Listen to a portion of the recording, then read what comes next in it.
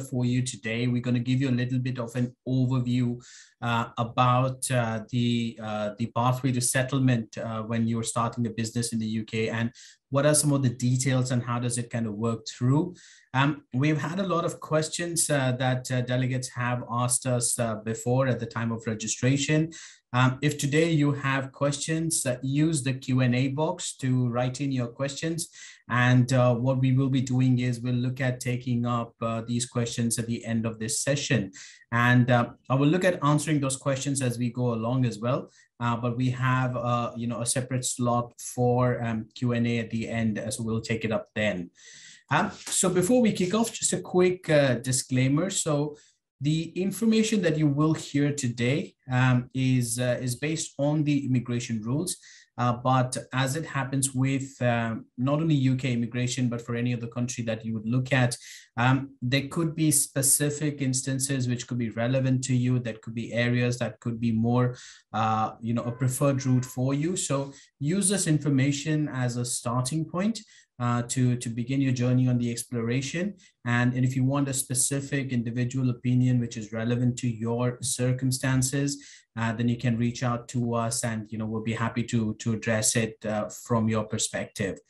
So what we're going to look at today is um, you know starting a business in the UK. Why is that such a great uh, opportunity? Um, how is that a pathway to citizenship um, in in uh, for for the UK? what are some of the popular routes uh, that you know everybody's kind of looking at and and obviously the q&a session so we've got a bulk of the time for your questions to get answered so um, you know use the q&a box start putting the questions in as it comes across and uh, you know we will be taking that up um, as we as we kind of go along right so it's no surprise, uh, you know, in terms of the popularity for uh, UK uh, as a destination, because it's quite an easy place to, to set up and, and run a business. It takes only about a, a couple of weeks to, to be up and running. I mean, registering a company with the Companies House is an online process. You could probably do it in a couple of days' time. Um, so, so it's really that easy to be up and running in terms of a business setup. It's regarded as a world leader in innovation uh, just in 2020, there were almost 20,000 tech startups that started in one year alone, uh, which gives you an idea about the kind of environment, the ecosystem uh, that, that can be offered to new businesses because the survival rate which is you know you have a lot of businesses which will start but how many of them will actually go the distance the five year startup survival rate is almost 43%. So if you're starting a business in the UK, five years down the line, every one in two business will survive, which is a remarkable uh, statistic uh, in, in terms of from an entrepreneur perspective, as well as from, uh, from a business uh, point of view as well. And, and here's an, an interesting fact. Despite the the COVID nineteen uh, you know pandemic that we've kind of been through and are still going through, sixty seven percent of small and medium uh, medium employers they generated a profit or a surplus in the last financial year. So it is it is a great growth story even during the pandemic. So um, almost two thirds of the businesses were generating some kind of a profit or a surplus uh, in in even in these times. So again goes on to show how um, interesting it is from from a business point of view uh, for from a survival as well as uh, thriving uh, from a business perspective. Um, it offers a competitive tax environment, so it's not not a tax haven like the Caribbean countries, but at the same time, it has a, a competitive tax scenario, especially when you look at other kind of developed countries. Uh, it offers the businesses a, a stable environment, especially in terms of the rules, the regulations, the changes uh, they don't come as often, and and if they're coming, then there's a lot of uh, there's there's a lot of awareness and there's a lot of information. So businesses and individuals can be prepared when those changes are coming in, and a lot of resources are are made available as well uh, in that process. Um, if you wanted to get global talent, it's, it's really a great place uh, to be. Uh, you know, in terms of uh, finding out a lot of talent because you get students from around the world who are finishing courses uh, in the UK. And, and recently, uh, UK has also introduced a graduate route, which means if you are finishing a course, a, a graduate or a master's or even a PhD, you could get a minimum of two years or three years of, of work permission without having any kind of a job offer. So really the talent pool is, is kind of, you know, going to go up once you have all these new graduates who are going to be joining the workforce. And and quite simply it's it's it's it's an environment which uh, you know is a melting pot of different cultures. And and it's really easy to find your feet uh, you know in the country even if you've never traveled before. And once you're kind of through that process and and and you know you get onto your uh, your citizenship pathway um, as a British citizen, you hold the seventh strongest passport. So you could travel to almost 185 countries and visa free, uh, which is great. You have a right of abode, which means you could stay for as long or as little in the country, travel in or out or relocate elsewhere, and still be able to get back to the UK without any, uh, without any issues. You get access to the healthcare, you could stand for public office. And, and here's a benefit that not a lot of people think about quite a lot, but the, the social safety net that is offered by uh, the UK to its citizens, it kind of allows you to take a little bit more risk when it comes to doing business. It comes to uh, taking that chance because you know that there's a little bit of a safety net for you, uh, even if things don't work out. So that's that's another plus point, uh, which is uh, you know which is available once once you have your rights and you've established yourself in the country.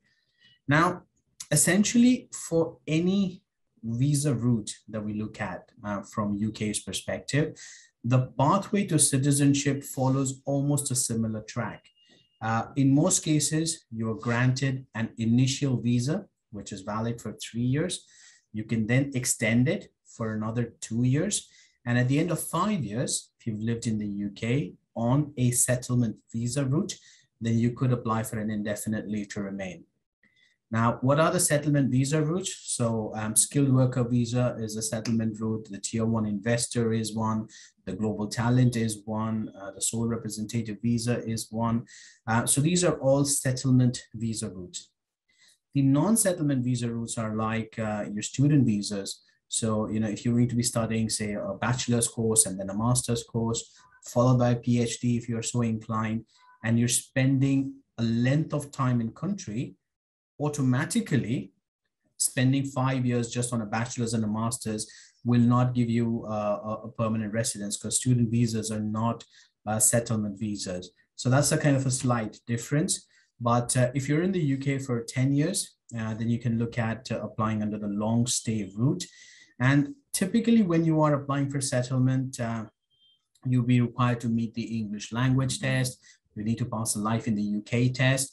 And more importantly, you have to spend at least six months in a 12 month period, you know, in order to justify your, your residency in the UK to show that, you know, you made UK your permanent home.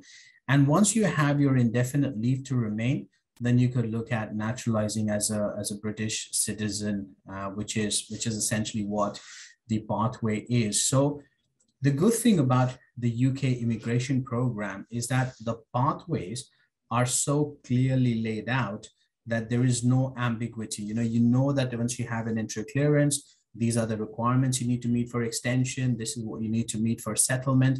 And this is when the residency will happen. And unlike some countries like in the US, there are no country specific quotas as well. So it's not that if you are an Indian origin person, then you know you need to wait because uh, your quotas might be longer, whether you're Indian or Chinese, and, and you know if you have another nationality, then it might be a bit more quicker for you to get settlement. So it doesn't work that way, which is great. Everyone is on par, and uh, you know exactly how the the process is going to pan out for you once you join in that process. So that's that's that's again the transparency, which is which is great from, uh, from a migration perspective. Now, before we kind of go any further, uh, just a little bit of an insight in terms of who we are and, and what kind of gives us a little bit more credibility to talk about this. So um, we are an immigration law firm. We advise and assist clients in their global uh, expansion and global mobility areas. We have clients in 26 plus countries and we've got thousands of success stories uh, all around the world in different visa categories for different countries. Uh, you know, you can check us out on Facebook, on Google. You know, we've got reviews from clients who are kind of uh, experienced the services firsthand, and and you know they've they've shared their uh, experiences. Um, as a professional body, we are members of the Law Society. We're members of the Immigration Law Practitioners Association. Uh, we've also won a bunch of awards from Who's Who Legal, uh, from the corporate immigration side of things.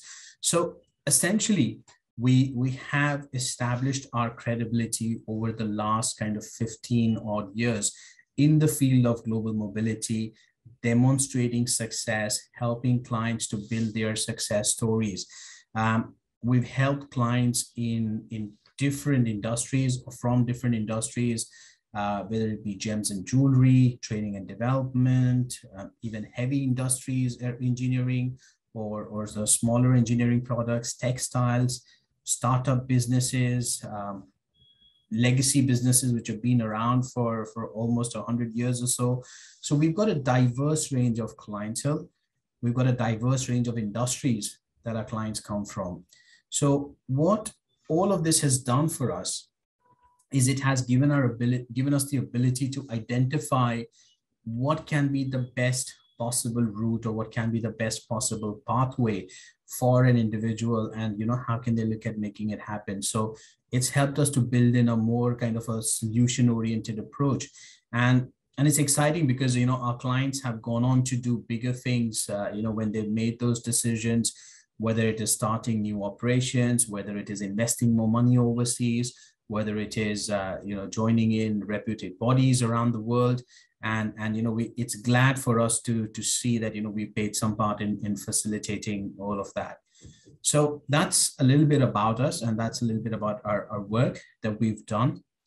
Now going right into the meat of the issue in terms of you know how can one look at starting a business in uk well typically you know there is there's a whole spectrum which you could go with. At one end of the spectrum and uh, you know is is the tier one investor visas. Now these are for really high net worth individuals who, who are able to make an investment of at least two million pounds, which is about 20 cr in in today's rupee terms, and essentially they can take this money and put it in their own company in the UK and then use that money towards construction, whether they want to get into housing, whether they want to get into any other kind of a business, real estate, uh, they could put that money in that way. And, and it's a fantastic route because it doesn't have an English language requirement. It's probably the only category from a UK visa perspective that, that you know, obviously does not require for the investor to be able to speak the language. Even if you're not proficient in English, you could still look at making an application. And it is really amusing because we see a lot of our clients in this category of visa. They're typically landowners who have uh, you know ancestral properties or who have land which they would have sold or they have stocks and equity which they have sold and they use that money to then apply under this particular category and it allows you to take your spouse and children uh, till the age of 18 to join you as dependents on this particular category. And as i said you could put the money in into a business in the uk and it could be in any domain. So that's one end of the spectrum.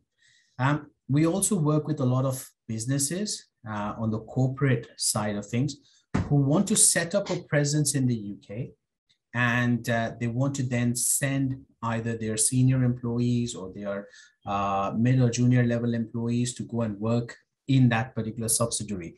And that route is the tier two or the sponsor license route. And that kind of falls under the points based system. So when you look at the skilled worker visa, or when you look at the intra-company transfer, all of that falls under this category. So this is defined by the fact that there is a company in the UK which has been set up, and then it is bringing in employees to that particular company. And, and this generally works for, for bigger corporate setups or where people have more than one person who's looking at migrating or more than one person who's looking at setting up a business, uh, then that's, that's a great route to, to kind of explore.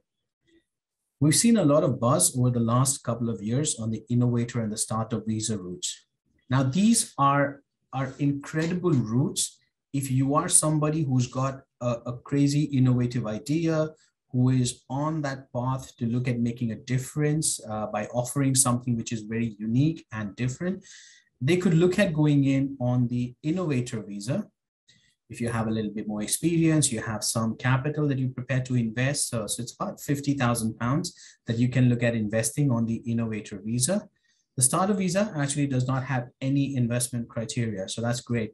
And, and it's especially good for uh, career freshers, especially good for people who want to make a start on a new and an innovative business in the UK. So, you know, if if you are one of those people, we'd be happy to have a chat with you, understand your concept, understand your idea, help you to kind of flesh it out a little bit more, and then make an application under, uh, you know, under this particular route. So that's the innovator or the startup uh, visa route that we look at. Um, of particular interest is the sole representative visa or representative of an overseas business. Now, this is one of the most popular routes that we see uh, to bring business into the UK because unlike the other categories, this one doesn't have a minimum investment criteria and it is not only geared towards those radical, innovative, ideas driven people, but even regular businesses, old school businesses, legacy businesses can look at applying under this. So there's no restriction that you have to be somebody who is very tech driven, who's got a, a techie business idea. Uh, but even if you had a regular trading business, you were into training, you were into textiles retail, gold jewelries, whatever, you would still be eligible to apply under this particular category. So officially, the sole representative visa is known as the representative of an overseas business. Now, as the term suggests, overseas business means any business outside of the UK. So, you know, we have clients from India, we have clients from Pakistan, Bangladesh, uh, you know, West Africa, Middle East, even. So, any business which is based outside the UK can nominate a representative to enter the UK and set up a branch or a subsidiary. So when a business nominates a person, the person can enter the UK, set up a wholly owned branch or a subsidiary on behalf of the overseas business. And this will give the business an opportunity to tap into the UK market without committing to a huge amount in terms of investment, without having to have the pressure to say that you know we have to generate a certain minimum amount for a turnover or to employ people. So in that case it becomes a fantastic entry entry route into the new market. And it also allows the applicant to bring in their family members. So uh, spouse and children till the age of 18 years can join the main applicant in the UK the spouse can work full time, the kids can work if they're eligible to or in that age group, and it becomes a pathway for settlement for everyone. So, unlike uh, you know countries which would generally say that you age out of a process and the kids can no longer continue, if your kids have entered the UK before before they turned 18, they can continue to remain in the UK, get the settlement, become a citizen, even if they age out. So, you know, even they cross that threshold, they're still able to do that. So that's that's an amazing opportunity that gets offered to individuals to naturalize, uh, not only for themselves but also for their families. And once you're there in the UK, you are eligible for a mortgage. You could look at buying property, residential, commercial, land if you wanted to, and and you can take the advantage of the lower interest rate. So Typically, the interest rates in the UK vary between 1% to 2% on the housing side.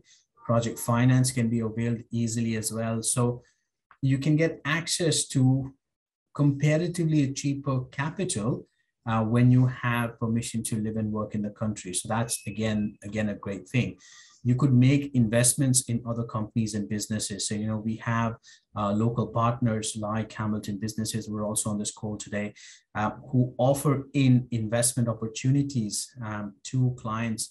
Uh, whether it is, uh, you know, whether they want to buy uh, hotels or that they want to buy other companies, whether they want to make investments in construction, um, so we can handhold them through the through the entire process. And it's quite interesting to to kind of have this as a pathway uh, because it allows the company to test the waters in the UK without making a commitment of a substantial investment. So unlike a tier one investor, you're not taking in 2 million in straight away to, to look at investing. You could subsequently choose to bring in the money, but then that's on, on your timetable. So looking at this in a little bit more detail, what are the criteria that we, we want the applicants to meet? So typically a sole representative must be a direct employee. So they should not be an agent or a reseller who is being appointed or on a commission uh, or somebody who's a marketing representative for that business, but they have to be an employee. An employee can have a business development role. So a lot of our um, clients would want to send somebody who's a business development manager or who's a sales head or who's an international business head. So as an employee, you can have a sales function or a business development function, but you cannot be somebody who's outside of the setup. You have to be somebody who is uh, who is part of the part of the company, and and that is something which is uh, which is really really important. Now, Typically, a sole representative cannot be a majority shareholder as well. So either directly or indirectly through, uh, you know, through uh, through surrogates or something on those lines, you should not be owning more than 50% of the shares or controlling more than 50% of the voting rights. If you are a owner of your own business, if you're a sole proprietor, and if you wanted to kind of identify this route to, for yourself, then that's not going to be feasible you can nominate one of your employees to enter the UK as a sole representative. But if you are the sole proprietor, if you own your business 100%, then you wouldn't be able to make that make that jump. So then we'll have to figure out another route, whether it is the tier two on the sponsor license side, which could be a better uh, proposition, or if your business is, is innovative, then maybe you could consider the, the innovator visa uh, as a pathway as well. So that's just one of the caveats that that you have to be uh, cautious about. It's not compulsory for someone to be a shareholder in a company. So even if a person has no shares, that's fine. But if they do have a share in the business, then it should not be a majority shareholding. And essentially, a lot of times we get this question, and I can see this coming along in our, our Q&A boxes as well, uh, you know, in terms of uh, you know who could be a, a, sole representative? Can they be a spouse? Can they be a sibling? Um, so yes i mean they could be a sibling that's no problem. So if uh, you know one of the family members was running the business as a proprietorship they wanted to nominate their sibling to be the sole representative that's perfectly fine. I mean it's no problem. And if the sibling is working in the business then they could look at uh, you know entering in as a sole rep as well. Again that's not a problem. Um, a lot of times people ask, and, and I can see this coming through as well right now, is what is the turnover that a business is looking at? Well, the short answer is it's not about a minimum number. You know, we've helped businesses which are in the startup phase, so they have zero revenue, and they have been able to nominate representatives. We have uh, clients who are turning over as uh, you know about three to four CR in, in Indian rupee terms. That's about 200,000 pounds or, uh, or $250,000 uh, in turnover, and they're able to nominate uh, sole representatives as well. So as long as the business can demonstrate that it is actively trading and it has a presence outside of UK, so it's headquartered outside the UK, it could be anywhere, and it could have multiple branches outside the UK, even that's not a problem, uh, they can be eligible to make an application. Now, typically, what we're saying is when a business is nominating an employee, they need to be able to show that they have adequate funds to support the branch in the UK. Now, the difference is you don't have to commit to making an investment, but you have to be able to show that you will be able to pay salaries for the person that you're sending to the UK. You'll be able to meet, meet the expenses for marketing uh, for an office setup if you were looking at it or a warehouse if you wanted to get it. So you have sufficient funds to start off on that process without taking recourse to any public funds. So that's that's the important uh, kind of you know criteria uh, that the that the Home Office would be looking at when they're looking at uh, deciding on the application. Now, applicants have to be outside the UK for sure, and uh, they have to be an employee of the business. They could even be working in a media house, you know. So you could be a correspondent, you could be a reporter, you could be an editor, um, you could even look at that from a media's perspective. So it's not only related to business, but even from a media perspective. And the employee's role must be at a senior level. So, you know, it says senior employees everywhere on the guidance, on the rule book. But, and a lot of times people wonder that, okay, a senior employee, how old must a person be? You know, so should they be 40 or 50, uh, you know, in order to be classed as a senior employee? Well, not really. I mean, if you are, it's not a deal breaker. You'll still be able to get in. But we've done applications for individuals who are in their 20s, they're 22, 23. So it's not about the age of the person, but it's about what kind of a job are they doing. So if your job is the one which could be classed at the senior level, then you would be eligible to make an application. We already covered the fact to say that you should not be a majority shareholder or a partner in the business. And unlike the investor, because you're not bringing in 2 million pounds at the moment, you would be looking at meeting the English language requirement. But again, this is at an A1 level. So if you can speak and listen English at a basic level, uh, which is at A1 level, then you would be eligible to, to take a test and even kind of look at entering in.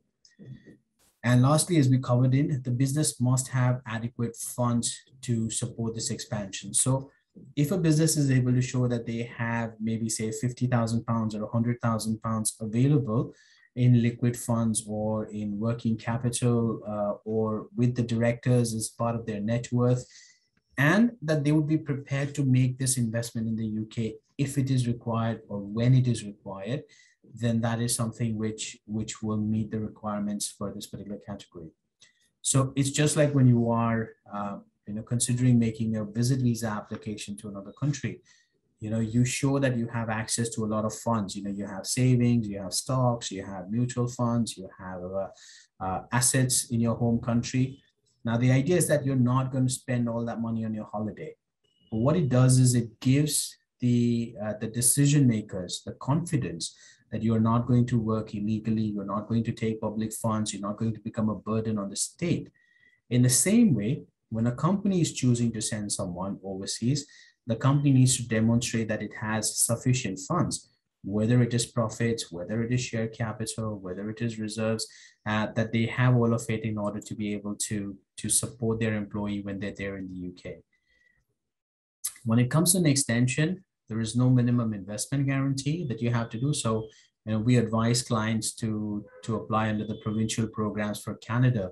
And if you're applying under the PNP, uh, you know, whether it is British Columbia or any other province, there is a minimum investment guarantee. So you commit to making an investment of, uh, you know, $300,000 or $600,000. You commit to creating four to six full-time jobs. Um, but unlike those programs in Canada, the sole representative visa has no commitment from the business's perspective to generate jobs or to make investments. If you are able to do so, and, and if you are able to generate employment, then that's a bonus. It kind of helps with, uh, you know, with, with obviously your business perspective, but it's not an immigration requirement. And that is what sets this program apart from from the other programs that you know we advise clients on.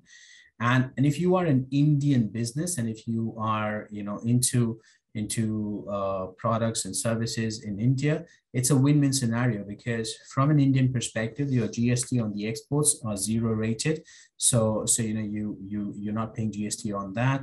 You get incentives on exports when you're sending uh, you know, and you're earning foreign exchange for the country. You have uh, duty-free imports is available for manufacturers to make export products. So, you know, if you want to bring something in, finish it off and then export it from here by adding some value, again, you get, you get a value add to that. You can secure your payments through the ECGC. You exports are a priority sector always. So as an Indian business, you know, you are in a stronger position uh, because it's a win-win on both sides. The benefits that you get in the UK plus what you can get from your uh, from from structuring the transactions from your from your home country's uh, industry. So having understood the process, it's, it's worthwhile to see how the flow is going to work on this. So the first stage in this process is to, to do a, a personalized review. So what we do as a as a company, uh, you know, we we have an initial screening where we'll assess the feasibility to see whether or not you you meet the requirements for this and uh, whether this is a good route forward for you or would there be another better route for you uh, or different route for you which would be more appropriate. If we're on the same page if we can establish the eligibility we then go on to prepare an application. The applicants then go into uh, for their biometric appointments and uh, once the their visas are granted they have up to 90 days to travel to the uk so it's not something that you have to act on immediately but you have about another three months to to make your travel plans and, and all the rest of it. And once you land in the uk you know we we support you with uh, with uh, your incorporation. If you need help with kind of concierge services to sort out your housing schooling for the kids and things like that you know we have service providers who could do that registering you for your health services, your national insurance with the HMRC and such. So all of that is kind of taken care of. And incredibly, this whole timeline can be completed in four to six weeks. And it's amazing because we've seen clients who want to take advantage of a business opportunity. So one of our clients is in the uh, in the business of making disposable plates and they're into packaging and such and with the boom in in kind of you know people staying at home ordering in and all the rest of it they saw an amazing opportunity for their disposables business uh, for their packaging business and they wanted to leverage that. And even though we started the process in the pandemic uh, you know, they were able to finish this in four to six weeks time. They were able to get their person in into the country in the UK, and uh, you know, we were delighted to learn recently that you know they actually doubled their sales over the last nine months uh, by just being in the right place and and ensuring that you know they were able to surf that wave when it came through. So. In that scenario, this is an incredibly quick process. I mean, if you were exploring, say, the US or Canada, you know those processes take at least three to five months and uh, they don't have the same kind of speed with which uh, you know on a single window you could get the whole whole process done.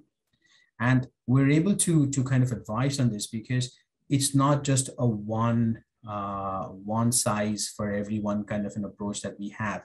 Our expertise extends beyond the uk you know we can advise clients for um, expanding to the US, to Canada, to Portugal, or look at other options within Europe. So we have a variety of options and we have successfully represented our clients in all of these areas. We actually do know what it takes uh, for someone to have a successful profile, for someone to be able to build uh, on these credentials and, uh, and, and kind of, you know, find the right fitment for an individual. So, so again, that gives us the depth to think in the best interest of a client to say that, okay, this is how, you know, things could work through. And depending on the monies available for investment, depending on your life objectives, depending on what you wanted to do once you were, uh, you know, in another country, we can provide a, a tailor-made solution